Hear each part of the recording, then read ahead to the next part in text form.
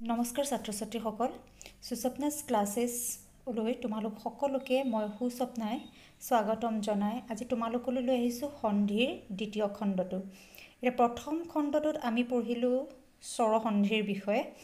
আজি আমি পঢ়িম ব্যঞ্জন সন্ধি। এতিয়া প্ৰথমতে আমি জানিব লাগিব যে ব্যঞ্জন সন্ধিনো কি।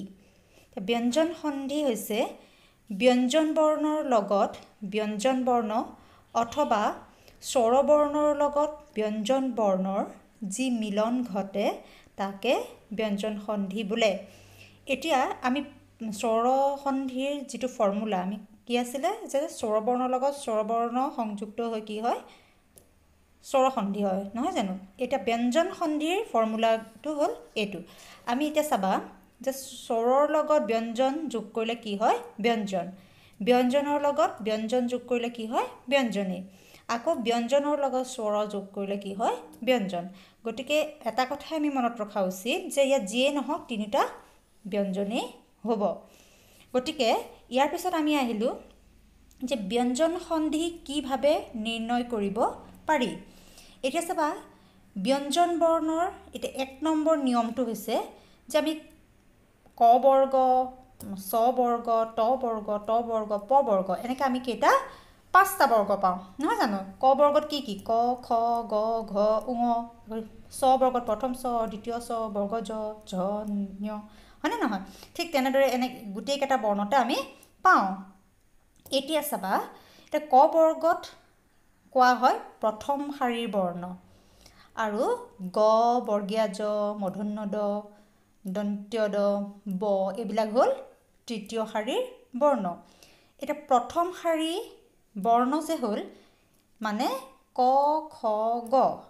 এতিয়া প্ৰথম শাৰী কি হ'ল? ক দ্বিতীয় শাৰী খ তৃতীয় শাৰী গ। এতিয়া ইয়াত কি কৈছে যে তৃতীয় শাৰীৰ বৰ্ণ হৈছে এইখিনি। তোমালোকে এটাই খালি মনত ৰাখিবা যে ক হ'লে আমি গ কৰিম প্ৰথম চ হ'লে বৰ্গীয়া জ কৰিম তেনেকুৱা। এতিয়া মানে কেছ ইয়াত কি হ'ব যে তৃতীয় শাৰীৰ যিখিনি বৰ্ণ সেইখিনি কি হ'ব বুলি কৈছে? প্ৰথম বৰ্ণৰ দ্বাৰা পৰিৱৰ্তন হ'ব। এতিয়া তৃতীয় শাৰী গ থাকিলে ক হ'ব। সেই এইকেইটা মনত ৰাখিলেই তোমালোকৰ সন্ধিখিনি শুদ্ধ হ'ব। এতিয়া চাবা এটা উদাহৰণ ল'লে বুজাত সহজ হ'ব। চাবা দিগন্ত ইয়াত কি আছে? গ। গতিকে এইটো যদি আমি সন্ধি কৰোঁ কি হ'ব? দিগ যোগ অন্ত। এই গটো কি কৰিলোঁ আমি? প্ৰথম শাৰীলৈ ৰূপান্তৰ কৰিলোঁ ন প্ৰথম বৰ্ণলৈ হয়নে নহয়? এতিয়া ক বৰ্গলৈ আমি ৰূপান্তৰ কৰিলোঁ। ঠিক তেনেদৰে দিগ নিৰ্ণয় দিগ যোগ নিৰ্ণয় গতিকে এই গটো কি হ'ল? ক হ'ল। ঠিক তেনেদৰে বাকীখিনি নিয়মো তোমালোকে ইয়াত ধুনীয়াকৈ কিতা গ্ৰামাৰৰ কিতাপত ইয়াৰ উদাহৰণ দিয়া আছে তোমালোকে চাই পেলাই বুজি ল'ব পাৰিবা। এতিয়া আমি আহিছোঁ নিয়ম দুইলৈ। এতিয়া নিয়ম দুইত চাবা ফৰ্মুলা মতে স্বৰধ্বনি যোগ দ্বিতীয় চ হ'লে প্ৰথম আৰু দ্বিতীয় চ যোগ হ'ব। অৰ্থাৎ পৰিচ্ছেদ। এই শব্দটোত যদি আমি চাওঁ পৰি যোগ ছেদ কি হ'ব? পৰিচ্ছেদ। কিয়নো পৰি বুলি কওঁতে ইয়াত কি হৈছে? ই পৰি ই হয়নে? স্বৰবৰ্ণ। যোগ ছেদ ছেদত দ্বিতীয় চ আছে। গতিকে কি আছিলে? স্বৰবৰ্ণ যোগ দ্বিতীয় চ হ'লে কি হ'ব? প্ৰথম চ আৰু দ্বিতীয় চ হয়নে? সেইবাবে কি হ'ল? পৰিচ্ছেদ। ঠিক সেইদৰে বিচ্ছেদ বি যোগ ছেদ গতিকে ইয়াতো কি হ'ল? বিচ্ছেদ। এতিয়া চাবা নিয়ম তিনি। যদি কোনো বৰ্ণ যুক্ত হৈ থাকে অৰ্থাৎ দ দ ল ল জ জ জ ঝ এনেকৈ যদি যুক্ত হৈ থাকে তেতিয়া কি হ'ব? তাত এই প্ৰথম যি বৰ্ণ যিটো প্ৰথমতে আছে সেই বৰ্ণটো প্ৰথম বৰ্ণ দ আৰু ইয়াত দ্বিতীয় বৰ্ণটো দ গতিকে এনেকৈ যদি থাকে তেতিয়া প্ৰথম বৰ্ণটি অৰ্থাৎ এই দটোত কি হ'ব? ত বা দৰ দ্বাৰা পৰিৱৰ্তন হ'ব। কিন্তু এই দ্বিতীয় বৰ্ণটোৰ পিছৰ দটোৰ কোনো পৰিৱৰ্তন নহয়। এই প্ৰথম দটোৰ পৰিৱৰ্তন হ'ব। এতিয়া চাবা এটা উদাহৰণ যদি লওঁ আমি উচ্চাৰণ। ইয়াত প্ৰথম স্বটো হয়নে? প্ৰথম স্বটোৰ প্ৰথমতে যিটো আছে সেইটোৰ পৰিৱৰ্তন হ'ব। এই দ্বিতীয়টোৰ পৰিৱৰ্তন নহয়। এতিয়া উচ্চাৰণ বুলি কওঁতে কি হ'ব? ত বা দ বুলি কৈছিলে হয়নে? পৰিৱৰ্তন হ'ব। গতিকে কি হ'ল? উচ্চাৰণ। উদ্যোগ চাৰণ। তাৰপিছত চাবা উজ্জ্বল। এতিয়া প্ৰথম জটোৰ পৰিৱৰ্তন হ'ব।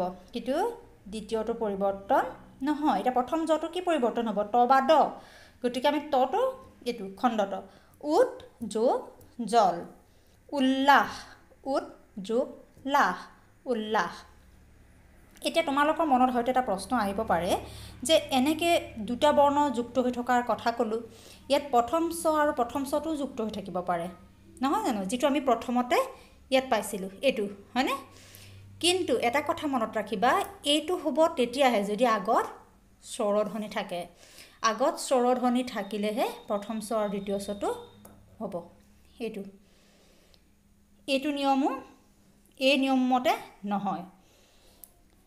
আমি আহিছোঁ নিয়ম চাৰিলৈ। নিয়ম চাৰিত কি আছে? দ আৰু ধ যদি থাকে একেলগে তেতিয়া কি হ'ব? প্ৰথম বৰ্ণটি অৰ্থাৎ দ এইটো। ত বা দৰ দ্বাৰা পৰিৱৰ্তন হ'ব। আৰু দ্বিতীয় বৰ্ণটি এইটো ধ কিহৰ দ্বাৰা পৰিৱৰ্তন হ'ব? হৰ দ্বাৰা। যেনে উদ্ধাৰ উদ্ধাৰত দ আৰু ধ আছে হয়নে? এতিয়া দটো হ'ল প্ৰথম বৰ্ণ ধটো হ'ল দ্বিতীয় বৰ্ণ।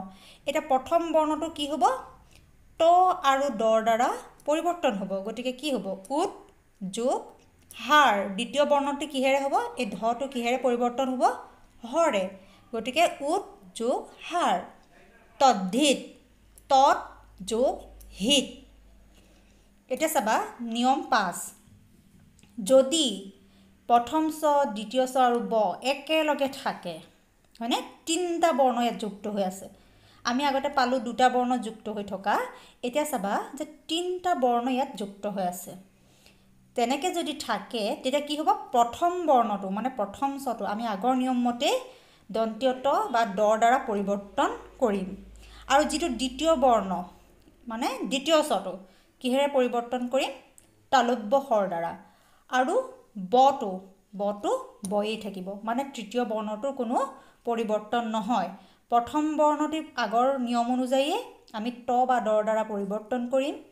দ্বিতীয় বৰ্ণটি আমি তালুব্য স্বৰে পৰিৱৰ্তন কৰিম আৰু তৃতীয়টো যেনেদৰে আছে ঠিক তেনেদৰেই থাকিবলৈ দিম। এতিয়া উদাহৰণ এটা লওঁ তেতিয়া আমাৰ সহজ হ'ব বুজাত। যেনে উচ্চাস এতিয়া উচ্চাসটোত কি হ'ব? ইয়াত তিনিটা যোগ খাই আছে হয়নে? প্ৰথম চ দ্বিতীয় চ ব। এতিয়া চাবা উদ যোগ শ্বাস প্ৰথম চটো কি হ'লে পৰিৱৰ্তন হ'ব বুলি কৈছিলোঁ? ত বা দলৈ গতিকে কি হ'ল ইয়াত? উদ হয়নে? খণ্ডত। যোগ শ্বাস তালব্য হ'লে পৰিৱৰ্তন হ'ল দ্বিতীয় চটো। আৰু বটো বয়ে থাকিল। উশৃংখল ইয়াত আকৌ কিন্তু প্ৰথম চ দ্বিতীয় চ আৰু ইয়াত ৰিকাৰ আছে। ব নাই। কিন্তু যিয়ে নহওক ইয়াত তিনিটা যোগ হৈ আছে। হয়নে? গতিকে ইয়াত কি হ'ব? উদ যোগ শৃংখল। ইয়াত যিটো থাকে তিনি নম্বৰতে সেইটো ইয়াত যোগ খাই যাব। নিয়ম ছয়। নিয়ম ছয়ত কি আছে? কোনো সন্ধিজাত শব্দৰ মাজত যদি অনুস্বৰ থাকে তেন্তে তাৰ পৰিৱৰ্তে ম বহিব যেনে সংসাৰ। ইয়াত অনুস্বৰ আছে হয়নে? গতিকে এইটো কৰিলে আমাৰ কি হ'ব? সম যোগ সাৰ সংৰক্ষণ সম যোগ ৰক্ষণ। সংশয় সম যোগ হয়। গতিকে এই অনুস্বৰটো দেখিলে আমি কি কৰি দিব লাগিব? তাৰ ঠাইত ম লিখিব লাগিব। এইটো। নিয়ম সাতলৈ কোনো সন্ধিজাত শব্দৰ মাজত যদি দ থাকে তেন্তে তাৰ পৰিৱৰ্তে খণ্ডত বহিব যেনে উদঘাটন। তো কি হ'ব? দ থকা জেগাটোত খণ্ডত বহিব।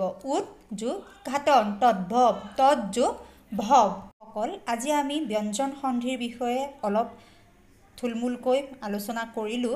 আশা কৰিছোঁ তোমালোকে বুজি পাইছা। পৰৱৰ্তী ক্লাছত আমি বিসৰ্গৰ সন্ধিৰ বিষয়ে আলোচনা কৰিম। আৰু আজিলৈ ইমানেই। ধন্যবাদ।